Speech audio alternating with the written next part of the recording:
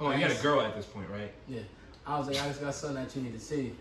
I was like, what you mean? I was like, yeah, we ain't do nothing probably in like eh, like in two, three years. Like, what are you talking about? Wait, three years? You, you lying? Two, three years. You lying? You lying? I had sex in two. You haven't two, you haven't had sex with this girl in two or three years, and she did that shit. Probably well, party plus or whatever. So You lying. She was like, well, now you own me permanently. I was like, what? She said, yeah, um, I got tatted. I was like, I was like, lol, relax, you you wild man. Deep in my heart, I thought she was joking. Okay. But then, like when when when when when I actually saw the proof, it felt it felt like like she had a kid by me.